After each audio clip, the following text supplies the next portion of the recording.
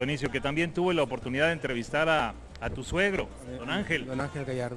Ángel Gallardo, ¿verdad? Que él también le hacía el boxeo y todo, y que pues bueno, se nos adelantó ya en el camino. Pero qué gusto que sigan elaborando estos dulces tradicionales, que son los originales, porque bueno, ha habido imitaciones por otros lados, ¿verdad? Pero estos son los originales, ¿sí, verdad? Sí, es la auténtica, la auténtica fórmula esta es. La auténtica fórmula. A ver, me vas a decir, porque yo me recuerdo que le decía ahí a papá, doña Natalia, que era de dos leches. ¿Se sigue haciendo con dos leches? Eh, sí, ahorita sí, estamos usando leche de vaca y, y poca leche de cabra. ¿Por qué esa combinación? Eh, para darle la consistencia. Se le da mejor consistencia. Así es. Sí, mejor consistencia al producto.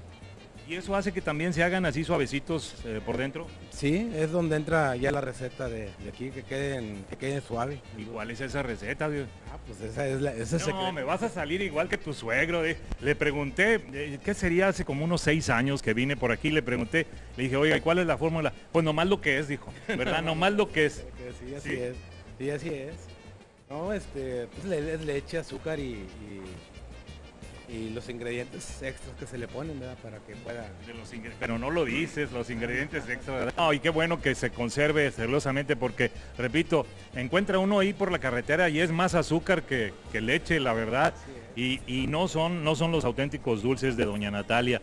Oye, entonces desde muy temprano, Sí, la leche, las 7 de la mañana. ya con, preparándole. Sí, preparando a las 7 de la mañana este, se reciben los lecheros aquí, este, se cuela muy bien y ya se ponen a, a, a cocer No me digas que todavía hay establos aquí en Linares ahí con la leche. ¿Sí? todavía. Qué hay, bueno, digo una gran ciudad, pero qué, qué bonito que conserven eso, ¿no? Sí, así es.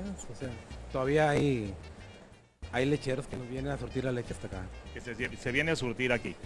Oye, yo sé que pues hoy en día todos queremos conservar la línea y sobre todo también eh, pues los diabéticos pues, nos privamos de un dulce como este, ¿verdad?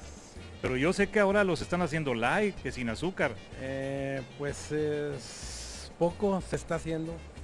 Eh, aquí todavía no, aquí todo es natural, o sea, todavía no, no. Todavía es con azúcar. Porque hay algunos que ya lo han hecho, ya lo han hecho así sin azúcar, ¿verdad?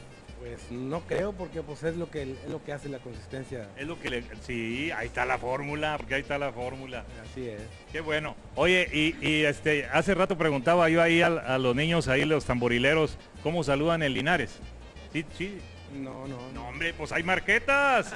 Ver- ¿Verdad que sí? Ah, sí, Y es que hace muchos años también así se vendía en, pues en la central de autobuses, en las gasolineras, donde llegaban los marqueteros, ¿verdad? Con los corazones de marquetas, pero en una tabla y por eso le hacían así, ¿verdad?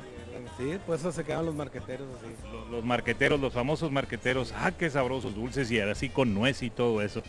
Pues te agradezco mucho, te agradezco mucho y la verdad qué gusto me da que esta tradición continúe. Es una herencia de doña Natalia que les ha dejado a toda la familia. No, al contrario, gracias a ustedes por haberse venido hasta acá Linares a, a, ver cómo se hacen los dulces, la famosa gloria. Muchas, muchas gracias, muchas gracias. Y yo voy a continuar. Hay marquetas con reportajes de Alvarado, Linares, Nuevo León.